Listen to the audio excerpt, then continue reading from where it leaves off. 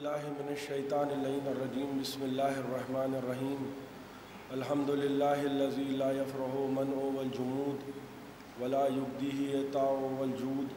اذ کل موت منتقص سوا وکل مانع مضموم ما خلا والمنان بفوائد النعم وأوائد المزید والقسم. مختلف علیہ دہر فیختلف منہ الحال. ولا كان في مكان فيجوز عليه الانتقال جلت عظمته والصلاة والسلام على النبي الأمي الخاتم لما سبق والفاتح لمن غلق المولن الحق بالحق أبي القاسم محمد الصلاة والسلام على أهل بيته الطيبين الطاهرين المعصومين المظلومين الذين أذهب الله عنهم الرجس وطهرهم تطهيرا. ایک صلوات پڑھو. اما بعد، فقد قال سبحانه وتعالى في محكم كتابه المجيد ومتقن خطابه الحميد وقوله الحق بسم الله الرحمن الرحيم الف لام میم احسب الناس ان يتركوا ان يقولوا آمنا وهم لا يفتنون. ایک صلوات پڑھ دیں محمد آپ حضرات سے گزارش ہے، تھوڑا تھوڑا اور آپ لوگ آگے آ جائیے قبل اس کے کہ مجلس شروع ہو. اور ایک صلوات پڑھ دیں محمد والے آپ لوگ بھی تھوڑا تھوڑا آگے آ جائیے. تھوڑا سا آپ لوگ بھی آگے آ جائیے، ذرا سا زحمت ہوگی، میں معذرت چاہتا ایک سلوات پڑھ دیں محمد والے۔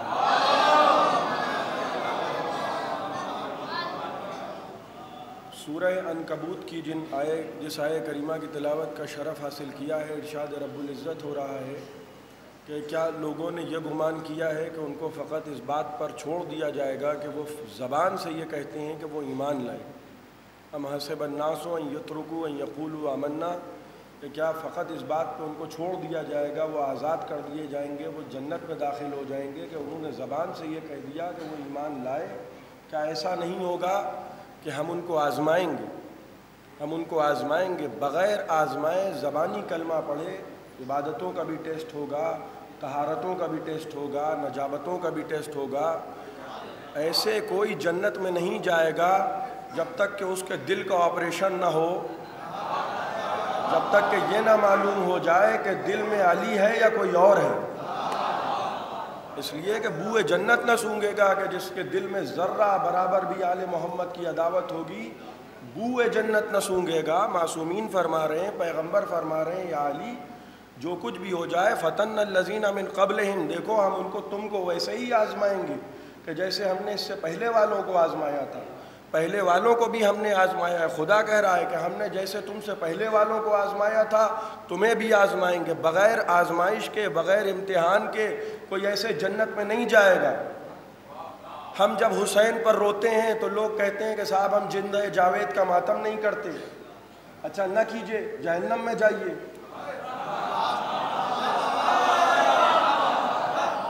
عجیب، ایک فیصلے پہ تو آ جائیے، یہ مکاریاں، یہ اریائیاں جب ماتم کے لیے بلایا تو کہنے لگے، نہیں نہیں صاحب، یہ بدعت ہے، یہ حرام ہے۔ بھائی، نہ کیجیے آپ ماتم، آپ سے کون کہہ رہا ہے ماتم کیجیے؟ ہم نے بلایا بھی کب ہے؟ لیکن ہم زندہ جاوید کا ماتم نہیں کرتے۔ ہم نے کہا، یا علی مدد۔ کہنے لگے کہ علی تو اس دنیا سے چلے گئے، وہ تو مردہ ہیں۔ جب ہم نے ماتم کیا تو کہنے لگے، حسین زندہ ہیں.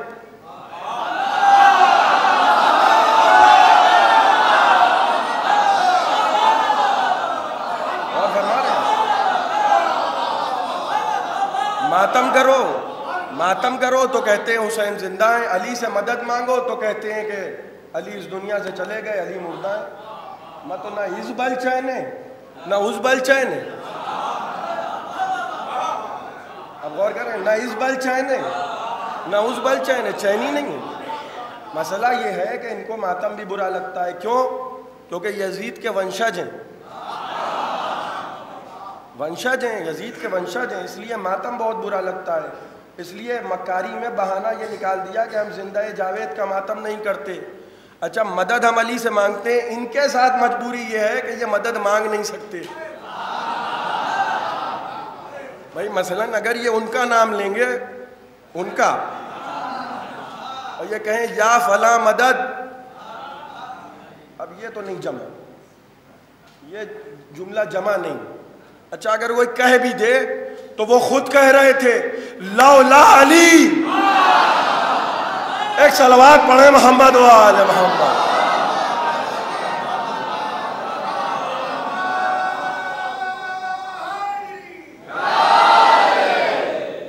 خود کہہ رہے تھے کہ اگر علی نہ ہوتے تو میں ہلاک ہو جاتا، تو یہ تو نہیں جمے گا۔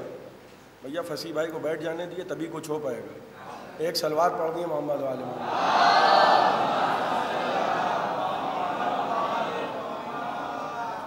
ایک اور سلوار پڑھ دیں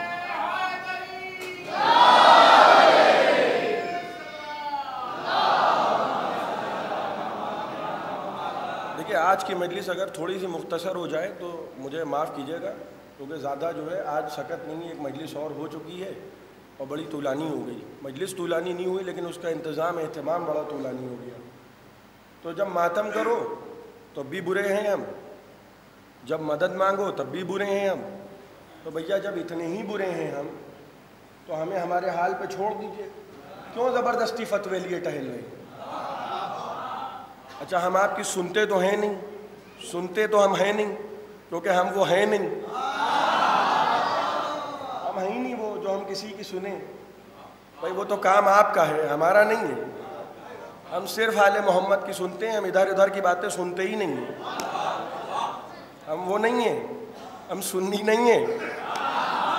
اور کس طرح سے کہوں؟ ارے، ہم نہیں ہیں۔ نہیں سو ہم صرف آل محمد، ہماری محبت کا، ہماری معیار، ہمارا ہمارا مرکز حیات صرف آل محمد ہیں۔ آپ لاکھ جو ہے فضائل بیان کیجیے، لاکھ فضائل بیان کیجیے، بہت بڑی شخصیت کو لے آئیے۔ ہم یہ دیکھیں گے کہ ہمارے ہمارے جن کے جو ہمارے آئمہ ہیں، ان کے ساتھ ان کا معاملہ کیسا تھا؟ آپ مسجدوں پہ نام لکھ دیجیے، ہم یہ دیکھیں گے کہ سیدہ راضی تھیں یا ناراض تھیں۔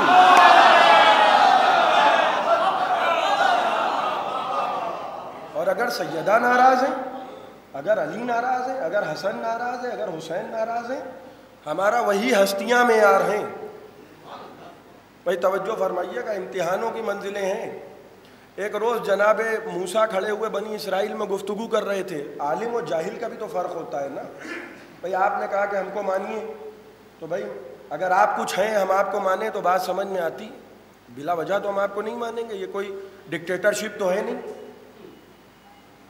یہ تو ہے نہیں کہ صاحب گردن پہ تلوار رکھ دیجیے کہ صاحب مانیے۔ تو آپ کچھ ہوں تبھی تو ہم مانیں۔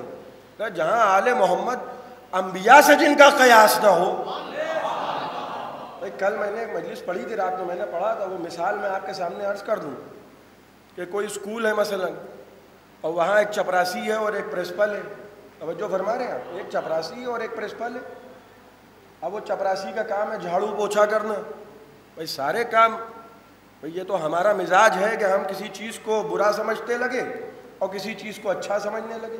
لیکن فرق تو ہوتا ہے، طبقاتی فرق ہوتا ہے، انبیاء میں فرق ہے ظاہر ہے انسانوں میں بھی فرق ہے، ایک پرنسپل کی کرسی ہے، ایک چپراسی کی کرسی ہے۔ اب پرنسپل صاحب موجود نہیں تھے۔ چپراسی جھاڑو پوچھا لگاتا ہوا گیا، پرنسپل کے کمرے میں بھی پہنچ گیا۔ اس نے دیکھا خالی ہے کرسی، پرنسپل صاحب کو تاخیر ہو گئی۔ اب وہ تھک گیا تھا بیچارہ جھاڑو پوچھا کرتے کرتے۔ اس نے سوچا تھوڑی دیر کرسی پہ بیٹھ جاؤں۔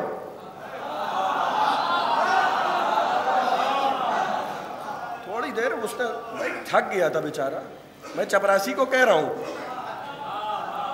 میں چپراسی کو کہہ رہا ہوں۔ وہ بیچارہ تھک گیا، تھوڑی دیر اس نے کہا، میں آرام کر لوں۔ وہ بیٹھ گیا پرنسپل کی کرسی پہ۔ اتنے میں پرنسپل صاحب آ گئے۔ اچھا انہوں نے بھی دیکھا، وہ گھٹیا آدمی نہیں تھے۔ انہوں نے بھی کہا کہ بھائی تھک گئے ہو، تم بھی انسان ہو۔ ہم بھی انسان ہیں۔ آپ غور کر رہے ہیں، تم بھی انسان ہو بھائی یہ بھی انسان ہے، ہم بھی انسان ہیں۔ وہ عالی ظرف، عالی خاندان۔ اب یہ تو اس کی بدخلی ہے۔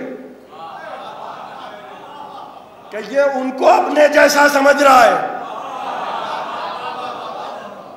یہ تو اس کی بدخلی ہے بیچارے کی۔ ایسے ہی پیغمبر کہہ رہے تھے، انا بسروں مثلکم، میں تم جیسا بشر ہوں۔ یہ تو امت کی بدخلی ہے کہ نبی کو اپنے جیسا سمجھ رہی ہوں۔ بیٹھا رہا بیچارہ، کہا بھائی بیٹھ جاؤ۔ اب آپ ایک بات یہ مجھے بتائیے، یہ جو بیچارہ تھک ہار کے پرنسپل کی کرسی پہ بیٹھ گیا، تو کیا یہ پرنسپل ہو گیا؟ پہ غور فرما رہے ہیں؟ آپ کیا یہ پرنسپل ہو گیا؟ تھوڑی دیر کے لیے پرنسپل ہو گیا، ایک منٹ کے لیے ہوا، دو منٹ کے لیے ہوا۔ پرنسپل کی کرسی پہ چاہے بیٹھا رہے۔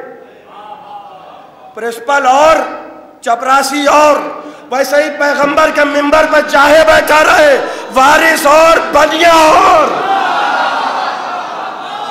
ایک سلوات پڑھے محمد وآل محمد۔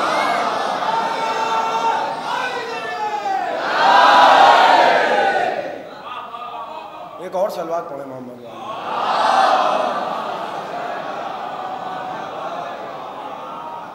چاہے بیٹھا رہے نبی کی کرسی پہ، ارے انبیاء کا خیاس نہیں ہو رہا ہے۔ جناب موسیٰ کھڑے ہوئے اپنی قوم میں گفتگو کر رہے تھے، واضح و نصیحت تبلیغ کر رہے تھے۔ تبلیغ انبیاء کا کام ہے۔ تبلیغ فرما رہے ہیں۔ اور کسی نے پوچھا، بنی اسرائیل میں کھڑے ہو کے کہ، اے جناب موسیٰ، اس وقت روئے زمین پہ آپ سے زیادہ قابل کوئی ہے؟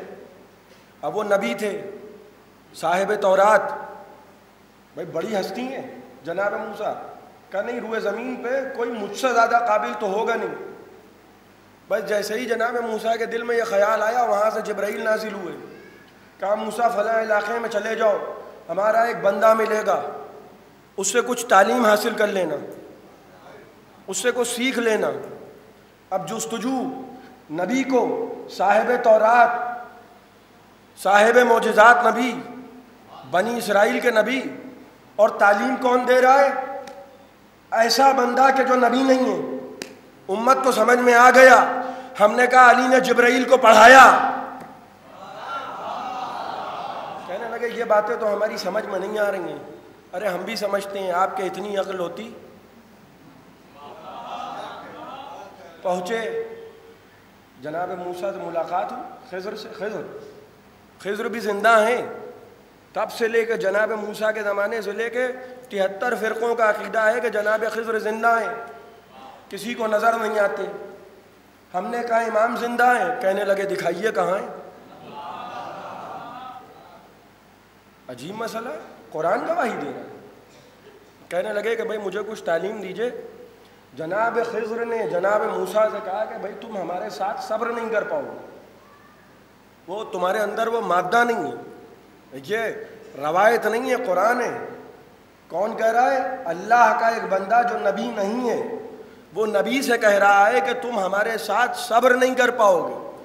ان کا لن تستیم آئی صبرا۔ تم میرے ساتھ صبر نہیں کر پاؤ گے۔ کیوں؟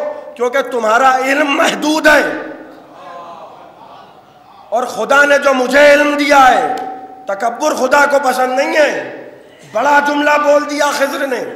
ایک روز خضر پہنچے، دریا کے کنارے دیکھا کہ ایک چھوٹا سا پرندہ، چھوٹا سا پرندہ ٹھہرے ہوئے پانی سے چوٹ سے پانی پی رہا ہے۔ منظر دیکھ کے کہا، پروردگار، ایسا منظر تو کبھی نہیں دیکھا۔ کہا، نہ دیکھا ہے، نہ دیکھو گے۔ یہ تم کو سمجھانے کے لیے تھا۔ تمہارا علم اتنا ہے۔ جیسے چوٹی کے منہ میں پانی کا ایک خطرہ اور آل محمد کا علم اتنا ہے جیسے یہ دریا۔ ایک سلوات پڑھے محمد و آل محمد۔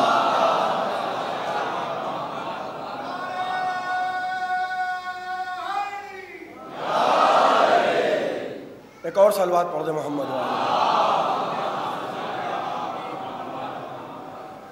علم میں فرق ہوتا ہے، درجے ہوتے ہیں۔ کہا تم ہمارے ساتھ صبر نہیں کر پاؤ گے۔ یہ جو چھونٹی پانی پی رہا ہے نا پرندہ، اتنا سا پرندہ۔ کہا، خضر، اب تم کو سمجھا رہے ہیں، تم کو درس دے رہے ہیں۔ تکبر خدا کو پسند نہیں ہے۔ لہذا گزارش یہ ہے کہ چپراسی کی کرسی پہ بیٹھیے۔ تو اپنی حیثیت میں رہیے۔ یہ نہ ہو کہ بیٹھ گئے اگر کہیں تو اپنے آپ کو، دیکھیے، اللہ نے عہدے دیے۔ انبیاء کو عہدے دیے، لیکن امتحان لے کے عہدے دیے۔ بغیر امتحان کے عہدے نہیں دیے۔ امتحان، بغیر امتحان کے کسی کو کچھ نہیں ملا۔ تکبر خدا کو پسند نہیں ہے۔ کیوں نہیں پسند ہے؟ خدا کو تکبر ایک فرشتہ تھا۔ ہزار مرتبہ کا سنا ہوا واقعہ ہے، فطرس۔ اس نے تکبر کیا۔ قدرت کی تیوریوں پر بل پڑ گئے۔ بال اوپر چھنے فطرس کو ڈال دیا گیا۔ توجہ فرمائیے گا۔ فطرس کو ایک جزیرے پہ اللہ جانے کہاں جزیرہ ہے۔ اتنا میں قابل نہیں ہوں کہ میں آسمانوں پہ جزیرے ڈھونڈوں۔ کہیں پڑا ہے۔ دیکھیے کب کب سزا ملی ہے؟ بہت پہلے۔ اس دنیا میں نبی آ چکے۔ اس دنیا میں علی آ چکے۔ اس دنیا میں سیدہ آ چکی۔ اس دنیا میں حسن آ چکے۔ ظاہر ہے کہ جب نبی آئے تھے تو وہاں سے مبارکباد کا سلسلہ چلا۔ تب مبارکباد دی گئی تھی ابو طالب کو۔ فرشتے تو آئے تھے۔ فرشتے تو آئے تھے۔ مبارکباد کا سلسلہ گیا۔ فطرس چپ رہا۔ جناب سیدہ کی ولادت کا وقت آیا۔ مبارکباد کے لیے فرشتے آئے۔ فطرس چپ رہا۔ مولا علی آئے تیرہ رجب کو۔ مبارکباد کے لیے فرشتے آئے۔ فطرس چپ رہا۔ امام حسن آئے۔ مبارکباد کے لیے فرشتے آئے، فطرس چپ رہا، کیوں؟ اتنی دیر سے سزا کا جشن منا رہا تھا کیا؟ بھائی، کیا مزے لے رہا تھا کہ مجھے سزا ملی ہے کچھ دن اور کھچ جائے؟ یہ کچھ سمجھانے کے لیے، کچھ سمجھانے کے لیے حسین کا انتظار ہو رہا ہے۔ حسین کا انتظار ہو رہا ہے۔ سزا ملی ہے، کس جرم میں سزا ملی ہے؟ فطرس نے تکبر کیا ہے۔ اچھا میں نے کوئی جرم کیا اور مجھے کورٹ نے سزا سنا دی۔ توجہ فرما رہے ہیں؟ کورٹ نے مجھے سزا سنا دی۔ مشکل تمام مجھے رہائی ملی۔ سزا کاٹ کے آئے، رہائی ملی۔ پھر وہی جرم کیا۔ وہی وہی جرم۔ اب پھر عدالت میں پہنچے، دیکھا وہی قاضی بیٹھا ہے۔ نہیں، اتنے خاموشی سے آپ سن رہے ہیں۔ تو میں بھی سوچ رہا ہوں کہ میں فضائل پڑھ رہا ہوں یا مد صحابہ پڑھ رہا ہوں۔ آپ غور کر رہے ہیں؟ وہی جرم کیا۔ وہی جرم، جس جرم کی مجھے سزا مل چکی ہے، اسی جرم میں میں دوبارہ آ گیا اب ایمان سے بتائیے، میرا کیا معاملہ بنے گا؟ اگر سزا بھی وہی ہے اور قاضی بھی وہی ہے، تو میرا معاملہ کیسا بنے گا؟ جس جرم کی لمبی چوڑی سزا کاٹ کے میں نکلا ہوں ابھی، اسی جرم میں اسی قاضی کے سامنے پھر پہنچ گیا۔ خدا کی قسم، دل کی دھڑکن بڑھ رہی ہوگی۔ کہ بھائی یہ دوبارہ مجھے دیکھے گا تو کہے گا، میاں ابھی چھوٹے ہو، ابھی دماغ صحیح نہیں ہوا۔ فطرس کو جس جرم کی سزا ملی، وہی جرم اس نے دوبارہ کیا۔ جرم بھی وہی، قاضی بھی وہی۔ جب مبارکباد کے لیے فرشتے چلے، کہا بھائی کہاں جا رہے ہو؟ کہا ہم جا رہے ہیں زمین پر، کیوں جا رہے ہو؟ کہا نبی کے گھر نواسا آیا ہے۔ کہا ہمیں بھی لے چلو۔ اب دیکھیے فرشتے جو ہیں، وہ اللہ کی مرضی کے تابع ہیں۔ ہماری طرح آزاد معاملہ نہیں ہے۔ اللہ کی مرضی کے تابع ہیں۔ جبرائیل کو کیا کرنا چاہیے تھا؟ جبرائیل کو یہ کرنا چاہیے تھا کہ ذرا ٹھہر جاؤ، پہلے ہم جا کے خدا سے پوچھ لیں۔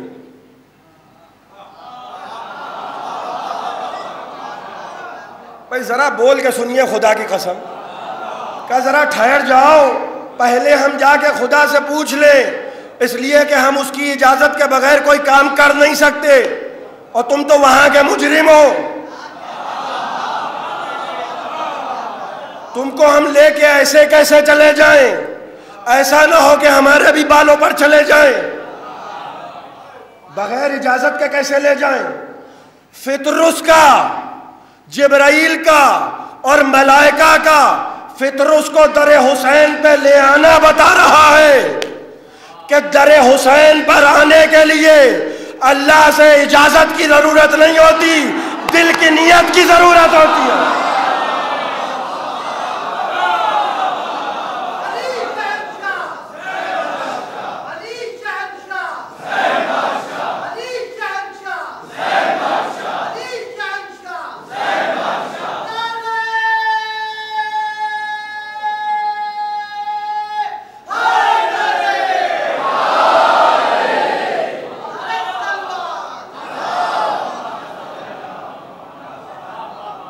رضا نہیں چاہیے۔ دل چاہیے۔ در حسین پہ بھیجا گیا۔ بالوں پر ملیں۔ کس سے مس ہوئے؟ حسین سے مس نہیں ہوا فطرس منتحل اعمال میں پورے کا پورا واقعہ موجود ہے۔ جناب فطرس فطرس کس سے مس ہوا؟ گہوارہ حسینی سے۔ اس کے بعد بھی بدعقیدہ لوگوں کو عقل نہیں آئی۔ مس بھی ہو جائے کوئی چیز نہ ان سے، تو تبرک ہو جاتی ہے۔ جناب ابراہیم نے آگ کو گلزار کیا، نو میل تک آگ لگی تھی، نو میل۔ خدا کے قسم، نو میل تک پورا شہر لکڑیاں لے کر آیا تھا کہ ان کو جلا دو۔ کیوں؟ کیونکہ بتوں کی توہین کی ہے۔ اور وہاں جناب ابراہیم منجنیق سے پھینکے جا رہے ہیں۔ بھائی، آگ کے قریب بھی کوئی نہیں جا پا رہا ہے۔ پرندے بھی اوپر سے گزرنے کی ضرورت نہیں کر رہے ہیں۔ اور آگ میں پھینکے گئے، دیکھیے، امتحان اور یقین کی منزل کیسی ہوتی؟ ہے ایک کھجور کے درخت کے تنے میں جناب ابراہیم کو رکھا گیا اور منجنیق سے پھینکا گیا۔ وہاں سے جبرائیل چلے۔ کہا، ہم مدد کریں۔ کہا، تم جاؤ، واپس جاؤ۔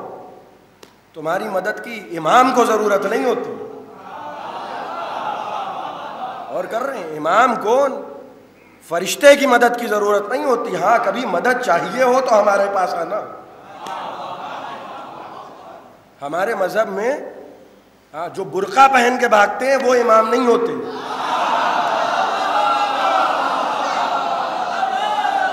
ہمارا مذہب ایسا نہیں ہے۔ اللہ نہ کرے، جاہل ہمارے مذہب میں امام نہیں ہوتا۔ صاف صاف سن لیجیے پہلی محرم کو میں نے کہا تھا، فرشتے بولے کہ ہم کو بنا دے۔ کہا، علم رکھتے ہو؟ یاد ہے آپ کو؟ علم رکھتے ہو؟ کہا نہیں، علم تو نہیں رکھتے، کہا جاہل ہو تو کنارے ہٹ۔ بھائی، جاہلوں کا خلافت الہیہ سے کیا تعلق؟ ہاں ادھر ادھر کی کرسی ہے۔ تھوڑی دیر کے لیے پرنسپل کی کرسی پہ بیٹھنے کا مسئلہ ہے، تو بات اور ہے۔ جاہل امام نہیں ہوتا۔ ہمارے مذہب میں جاہل امام نہیں ہوتا۔ اگر خانہ کعبہ میں آئے گا نا تو تورات بھی سنائے گا، زبور بھی سنائے گا، انجیل بھی سنائے گا، قرآن بھی سنائے گا۔ تاکہ دنیا سمجھ لے، تم اور ہو، ہم اور ہیں۔ جہالت نہیں ہے۔ بس آج کی حد تک میں نے آپ کی زحمتوں کو تمام کیا۔ جاہل امام نہیں ہوگا۔ ہم آپ جب پیدا ہوتے ہیں تو کیسے ہوتے ہیں؟ بھائی بڑے سے بڑا آیت اللہ بھی ہو۔ بعد میں علم کشف کرتا ہے نا، جب پیدا ہوتا ہے تو آپ کیا اس سے یہ توقع کرتے ہیں کہ وہ سجدے میں گر جائے؟ مثال دے رہا ہوں اور یہ مزاحن نہیں کہہ رہا ہوں، بھائی، انسان کا بچہ ہے نا، وہ بعد میں کبھی کچھ بنے تو بنے۔ لیکن جو ہمارا ہماری کیفیت ہے نا عام انسانوں کی، وہ وہاں نہیں ہے۔ اللہ اخرجکم من بطون امہاتکم لا تعلمون شیا اللہ نے تم کو اپنی ماں کی، تمہاری ماں کی پیٹ سے اس طرح نکالا کہ تم اجھل مطلق تھے۔ جب دنیا جاہل ہوتی ہے تو علی کیسے بول رہے ہیں؟ تم جیسا نہیں ہے۔ ان کی زندگی اور ان کی موت اگر سمجھنا ہے، تو اتنی عقل نہیں رکھتے ہو کہ سمجھ پاؤ۔ جب یہ دنیا میں آئیں گے تو ایسے آئیں گے کہ عقل محو حیرت ہو۔ دنیا سے جائیں گے تو ایسے جائیں گے کہ نو کے نیزہ پہ قرآن کی تلاوت کر رہے ہیں۔ تم ان کو پہچان نہیں پاؤ گے۔ کیوں؟ کیونکہ تمہارا طائر فکر ان کی بلندیوں تک پرواز نہیں کر سکتا۔ چھ مہینے کے علی اصغر کو میدان میں لائیں اسے۔ چھ مہینے کا بچہ۔ اور فرما رہے ہیں، لے کے نہ جاتے ساتھ میں جب بچہ اتنا چھوٹا تھا۔ لیکن حجت کو تمام کرنا ہے۔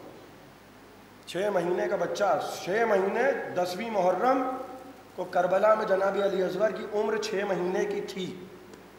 جب حسین نے سفر کیا ہے تو عمر اور کم تھی۔ صبح سے مسائب سن رہے ہیں آپ جناب علی اصغر۔ کون ہیں؟ چھ مہینے کے۔ کربلا کے میدان میں جب حسین گود میں لے کے آ رہے تھے، تو لشکر یزید نے کہا کہ ایسا معلوم ہوتا ہے کہ حسین قرآن لے کر آ۔ رہے اب حج میں قرآن خیال کیجیے اور چھ مہینے کے علی اصغر کا قد ناپیے چھ مہینے کے علی اصغر کو گود میں لے کر آئے، اس کی ماں کا دودھ خشک ہو گیا۔ اس کو پانی پلا دو۔ کوئی حرکت نہیں ہے۔ کہ میری باتوں پہ یقین نہیں کر رہے ہو تو میں اس چھ مہینے کے بچے کو کربلا کی زمین پہ لٹائے دے رہا ہوں۔ پانی مانگ رہے ہیں اسے۔ ہر کے لشکر کو سیراب کیا تھا۔ پھر کیا کہنے لگے ہور سے؟ ہور ہم بہت شرمندہ ہیں۔ ہمارے خاندان کی مہمان نوازیاں مشہور ہیں ہور۔ لیکن آج جب تم آئے ہو تو ہم تمہارے سامنے کوزہ آپ بھی پیش نہیں کر سکتے۔ یہ غریب الوطنی ہے۔ کس کی؟ حسین ابن علی کی۔ سنتے ہیں آپ؟ تین بھال کا تیر اور چھ مہینے کا بچہ۔ جب لے کے چلے تو چار برس کی سکینہ نکلی کہا بابا، اگر علی اصغر کو پانی پلا لائیے گا تو تھوڑا سا پانی لے آئیے گا۔ میں آہستہ آہستہ مسائب پڑھوں گا۔ لیکن خدا جانے اگلے برس کون رہے، کون نہ رہے۔ بات کہتے کہتے آج محرم کی پانچویں آ گئی۔ چند دیر اور گزر جائیں گے اور پھر انتظار۔ جیے تو اگلے برس ہم ہیں اور یہ غم پھر جو چل بسے تو یہ اپنا سلام آخر جب جانے لگے کہ بابا تھوڑا سا پانی لے آئیے گا۔ میدان میں آئے، پانی مانگا، پانی نہیں ملا۔ ہرملا کو بلایا گیا، اے ہرملا حسین کے کلام کو منقطع کر دو۔ تین بھال کا تیر اور چھ مہینے کا بچہ۔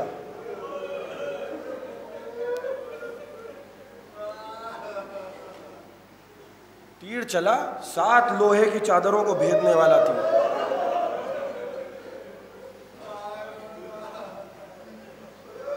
اتنا وزن تھا تیر کا، اتنا وزن تھا تیر کا کہ چھ مہینے کا بچہ باپ کے ہاتھوں پہ منقلب ہو گئے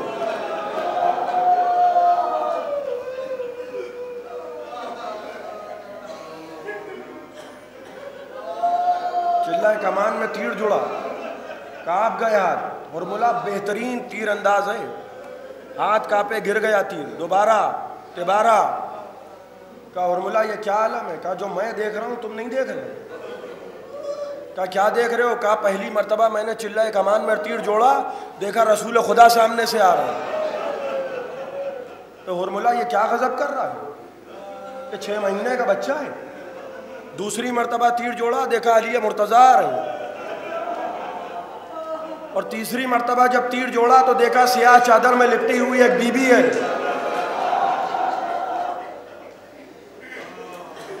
ہرملا میرا حسین مر جائے گا۔ علی اکبر کا جنازہ اٹھا چکا۔ کیا سخت مرحلہ ہے، خدا کی قسم، جوان بیٹے کا جنازہ۔ کہہ چکے، لاش علی اکبر پر اللہ دنیا بادک لفا۔ اے میرے لال علی اکبر، تمہارے بعد زندگانی دنیا پہ خاک ہے۔ اب چھ مہینے کے علی اصغر کو لے کے میدان میں آئے۔ چلہ کمان سے تیر جڑا۔ سنسناتا ہوا تیر چلا۔ چھ مہینے کے علی اصغر کی گردن پہ لگا۔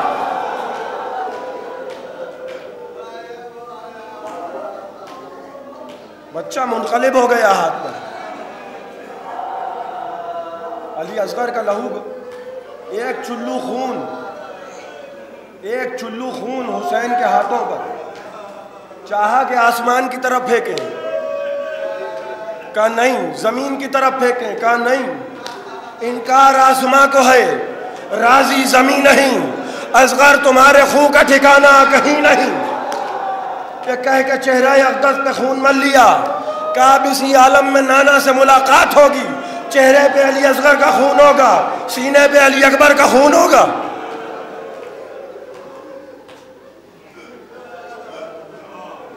پلٹنا چاہا خیموں کی طرف۔ اعمال عاشور کرتے ہیں آپ سات قدم آگے بڑھے، سات قدم پیچھے ہٹے۔ انا للہ و انا الیہ راجعون۔ رضن بقضائی و تسلیما لامرے کبھی آگے بڑھ رہے، کبھی پیچھے ہٹ رہے، خیمے کے دروازے پہ پہنچے، چار برس کی سکینہ نکل آئی، کہا، بابا، علی اصغر کو پانی پلا لائے بابا. ہمارے لیے پانی کی کچھ سبیل کی۔ ہوا کا ایک جھوکا آیا، حسین کی ابا کا دامن ہٹا۔ خدا کسی بہن کو یہ منظر نہ دکھائے۔ اب جو دیکھا، چھ مہینے کا بچہ ہاتھوں پر کہا، بابا، کیا اتنے چھوٹے بچے بھی مارے جاتے ہیں بابا?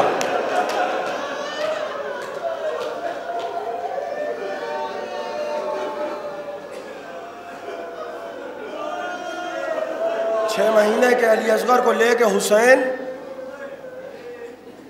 کچھ تلاش رہے۔ حسین کچھ تلاش رہے۔ مختلف مقامات پہ پہنچ کے حسین کچھ تلاش رہے۔ اور یہ کہتے جاتے ہیں، میرے لال علی اصغر میرا بتیس برس کا بھائی عباس گھوڑے کی ٹاپوں کو برداشت کر لے گا۔ میرا اٹھارہ برس کا کڑیل جوان گھوڑے کی ٹاپوں کو برداشت کر لے گا۔ میرا بھیا کی نشانی قاسم گھوڑے کی ٹاپوں کو برداشت کر لے گا۔ میرے اون و محمد گھوڑے کی ٹاپوں کو برداشت کر لیں گے۔ مگر میرا لال یہ پھول سا بدن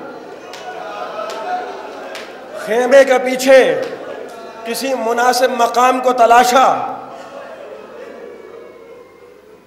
ذوالفقار سے قبر علی اصغر کھود رہے ہیں اسے۔ کسی کے گریے کی آواز سنی، کون ہے جو مجھ بے کس و مظلوم کی مصیبت پہ رو رہا ہے؟ کربلا میں حسین کو تو کوئی لائق سلام بھی نہیں سمجھتا۔ کہا مولا میں ہوں ذوالفقار یہ نہ معلوم تھا یہ خدمت بھی لی جائے گی۔ لہو سے غسل تو اصغر کو دے چکی تھی قضا۔ ملی بصورت کافور شہن خاک شفا۔ اتارے قبر میں اصغر کا خوب بھرا لاشا۔ لٹا کے خاک پہ قبلے کی سمت منہ پھیرا۔ پھر اپنے لال کو جب خاک میں چھپانے لگے، تو یا علی کہا اور ہاتھ تھر تھر آنے لگے۔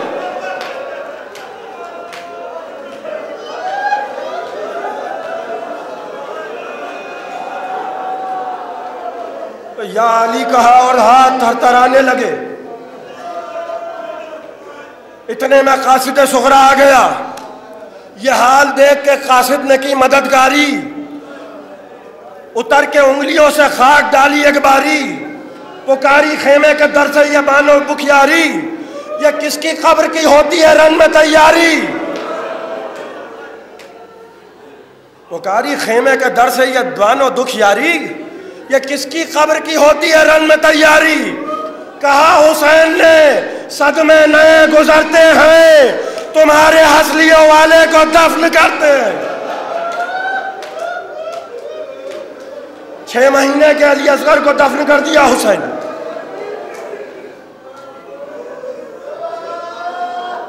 چھ مہینے کے علی اصغر کو دفن کر دیا۔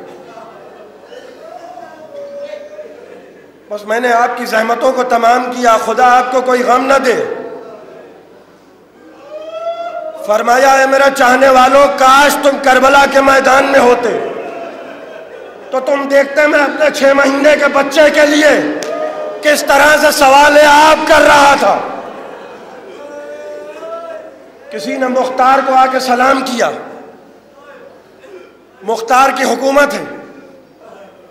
کسی نے آ کے مختار کو سلام کیا، کہا، کہاں سے آ رہے ہو؟ کہا، مختار، میں مدینے سے آ رہا ہوں۔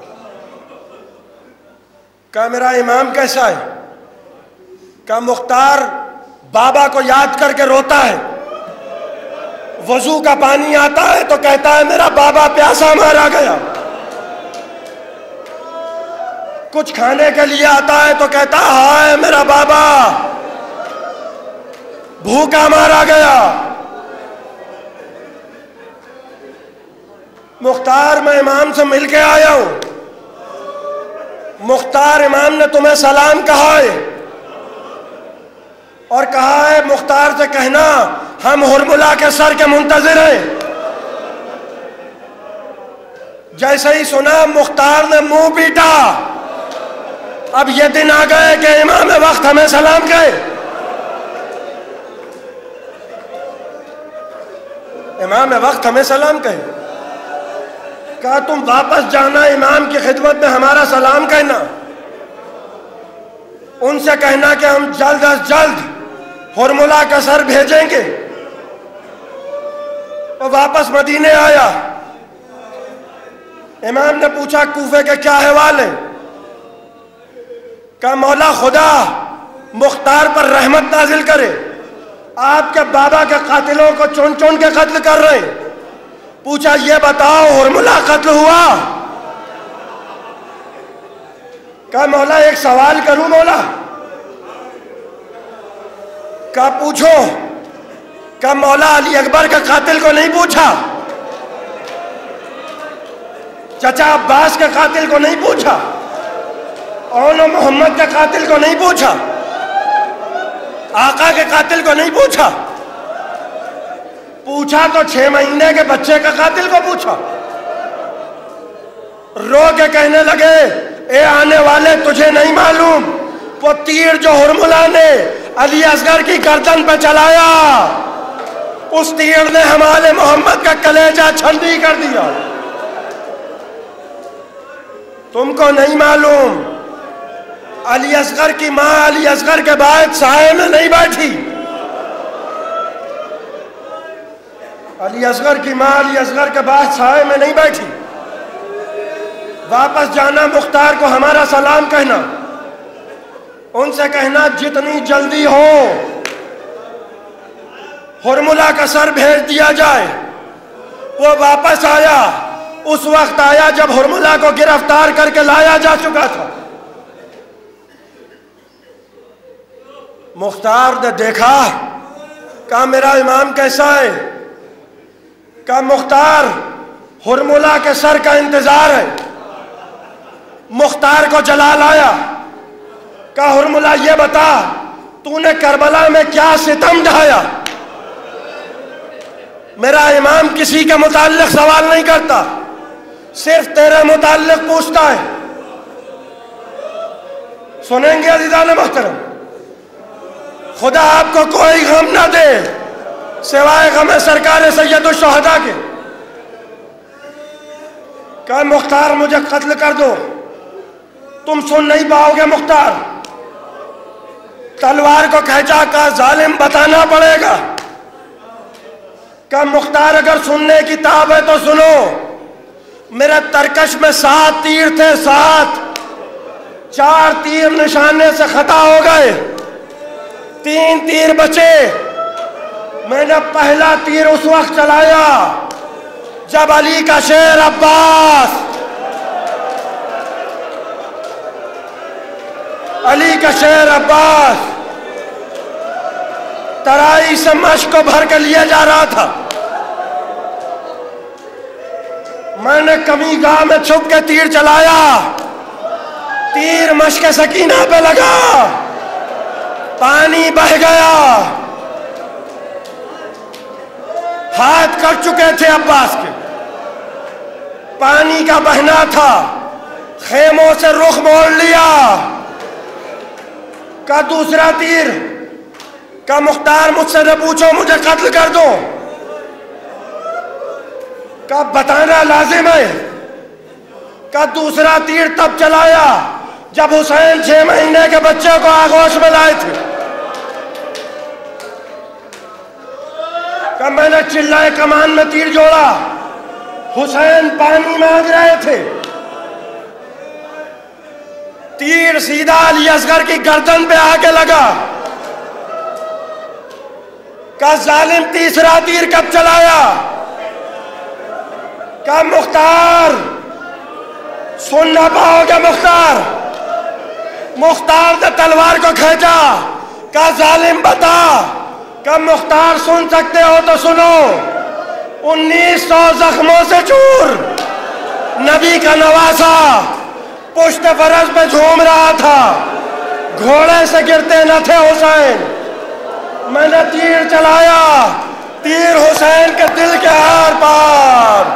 نبی کا نوازا۔ زین سے زمین پر آ گیا۔